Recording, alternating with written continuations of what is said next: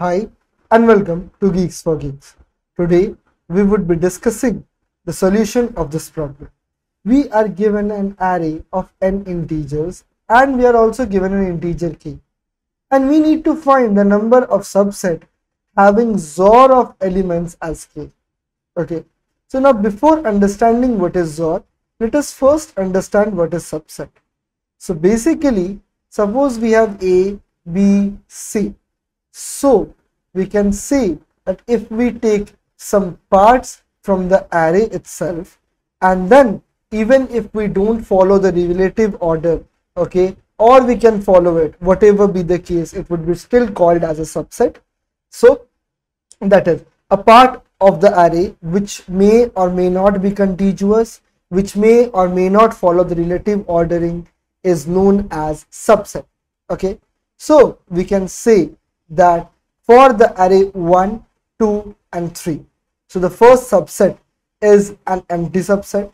Then we have only the first element, then first and second element, then first, second and third element, then first and third element, then only is the second element, then second and third element and the third element. So basically we have 2 to the power n. Okay, so 1, 2, 3, 4, 5, 6, 7 and 8. Okay, but if the value is subsequence, if the value is subsequence, the definition remains the same. The only difference between a subset and a subsequence is that in a subsequence, this null is not present. That is why there are 2 to the power n minus 1 subsequence and 2 to the power n subset itself. Okay, fair enough. Now we need to find the number of array having the XOR of elements as k. Now let us see the truth table of XOR. So if we have 1 XOR 1 then 1 XOR 0 then we have 0 XOR 0 then we have 0 XOR 1 okay so we can say that 1 XOR 1 0 0 1 1 now you don't need to remember all this relation rather rather if you just remember that same 0 and different 1 this is sufficient enough to remember the truth table of XOR. Now let me clean the table and let me show you. Okay. So now that we know what is subset and now we know what is XOR, we need to find the number of subset having the XOR as k itself. So if we have 1 XOR 1 XOR 0 then same 0 and then again same again 0 fair enough? This is how we would do it. So now in the first test case itself we have 6942 so the two subsets are 4 2 and 6 itself. Okay? Which has a subset as k okay. So it has only one element. So x XOR nothing would be that x only. And then we have 4 XOR 2 4 XOR 2 is what? 0 1 and 2 and this is what? 1 0 2 itself. So if we XOR this value then this would be 0 1 1 so this would be 4 plus 2 that is 4 why 4 because 2 to 0 1 2 2 to the power 0 2 to the power 2 plus 2 to the power 1 that is 4 plus 2 is equals to 6 itself. That is why the answer to this is 6 so the value is 2 because we were able to find two subsets. Okay. Now we can see that the brute force approach to this problem is that we consider all possible cases. Okay. Consider all subset. So we take out all the subset of the array by using recursion and then we check how many subset has the value as k itself okay so now how would we do it so to do it we have two options by using recursion so we have suppose we have 6942 so we have 6 9 4 and 2 First, I would show you. So suppose let us not take 6942, let us just take 1, 2 and 3. Okay, fair enough. So now we need to find all the subset. So if we want to find all the subset, then the XOR itself. So for the first element, for the first element, we have two options. Either to include that element. So if we include that element, this would be 1. If we don't include that element, that would leave me blank. Now, after this, there comes two branches and we again have choices for the second element now. For the second element, if we choose it, this is yes, this is no. So this would be 1, XOR 2 and this would be just 1 because we have ignored this 2.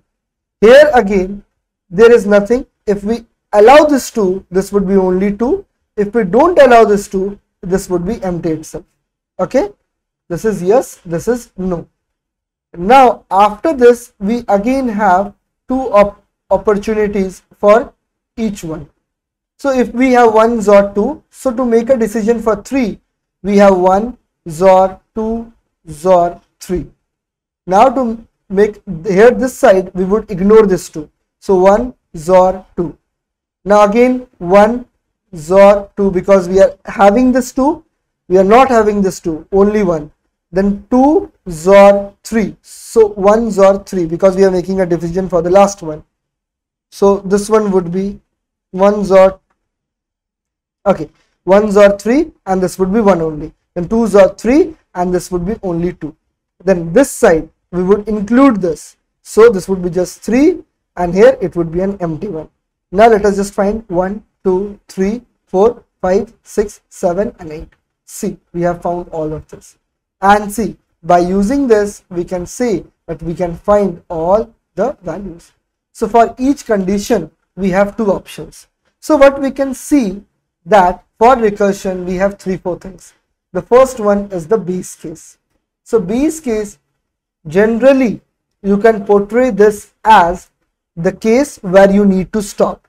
Or there are other conditions also. The smallest test case which you can solve by yourself so either it is the one element or I, so either you reach the one element or either you reach the end so here we can see that we need to stop when we are at the leaf node so when we are at the leaf node, that means we are at the last index. So we can say that when the index is equal to equal to last or suppose n, we need to stop at that condition. Okay, fair enough. Now we need the parameters. So in the parameters, what all things we need? We need the zor value of this. The leaf node is storing the zor value. So I would just have the zor Then I would have the index itself so that it would help me in the base case. Now we have the intermediate case. Now in the intermediate case, we can see that we have an opportunity from both sides. But we need to, we need, what we need to do is we need to go and explore both the opportunities. And suppose I go here and go here.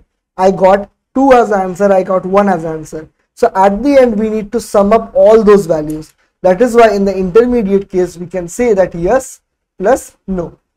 So now this is it. You would get a better idea when I would start implementing. Okay, for itself, let's go with the brute force only. Okay, so what is being done here? So we just have a function here and here we need the index also. That is why we are also having a wrapper function. Here this i is the index, x is equal to the zor value. K is the value that is given and this is the vector itself and this is the size of it. Okay? So now we would start. So if we have reached the end that means if i is equals to equals to n. Okay? So now if we have reached the end we need to check after reaching the end if the value is equal to k or not. So we would say that return x or we can say that if x is equals to equals to k return 1 else return 0 okay? Now we move forward and we would do is we would initialize the answer with 0 fair enough? Now what we would do is we would have i. So now there are two conditions for us. So int a1 that is answer 1 is equals to rec of we need to move forward whatever be the condition. Then this would store the XOR. So we would do the XOR of a of i. Okay? And then k would remain the same a would remain the same the size would also remain the same in the second one a2 answer 2 is equals to rec of i plus 1 we would move forward. Here we won't do the XOR because we would ignore that value. And this would be k and a and n itself. Then the answer would be equal to a1 plus a2 and then we need to return the answer itself. And then what we need to do is return rec of we need to start from the zeroth index then we have the value of x okay? So we would do zor of 0 because 0 as an initial value won't affect the answer. K would remain the same. K is capitalized here. And then we have the array which is named as arr here and then capital N itself. Let us just check what mistakes did I did. Okay. So we see that we have a time limit exceeded. So we got a TLE error fair enough. So this is how we would do it. But we are going TLE error why we are having this TLE error because as you know as you know that recur in the recursion tree we are making the decision for suppose this one again and again. So we are doing repeated things again and again. So suppose we are doing the same repetitive mistake again and again what we do in real life is we memorize this we memorize this mistake so that we don't remember this in in future so in the same way what we would do is we would save the answer and then we would use when needed. How would this help? This would help because if the value is already pre-calculated, then the repetitive work which is increasing the time complexity won't be done and we, it would collectively reduce the time complexity to a large extent. So what we would do is we would memorize the answer. Now to memorize the answer, we need a data structure. Now to need a data structure, we need to first see what things in the parameters are static and what are dynamic. So we can say that i is changing here. i is changing to i plus 1 and then i plus 2 and i plus 3. These all things. x is also changing to the ZOR value of a of i. k is constant, a is constant, n is constant. Now we know that we have two values that are changing.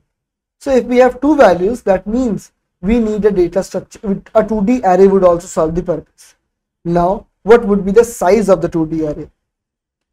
So the i would start from 0 and if i reaches the condition n, that means it would end. So what we would do is we would see the largest extent n can, n can be.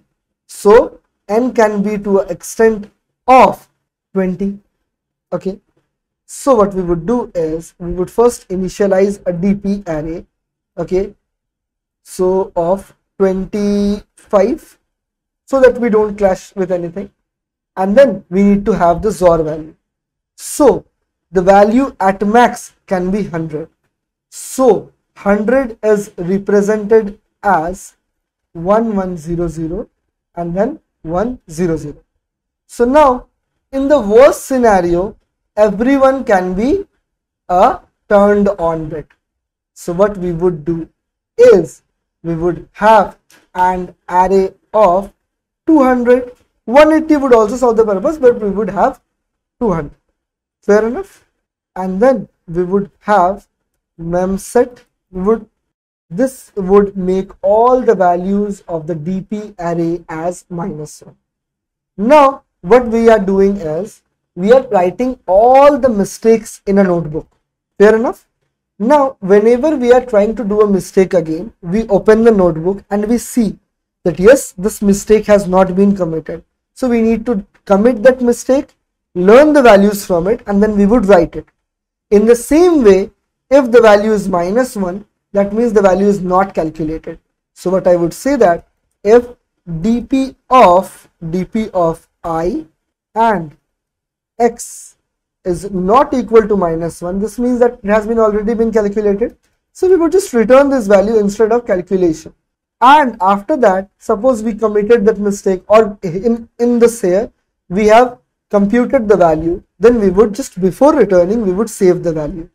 Dp of i and x is equals to answer. Fair enough? And yes we have successfully solved this problem. That's it for today thank you and have a nice day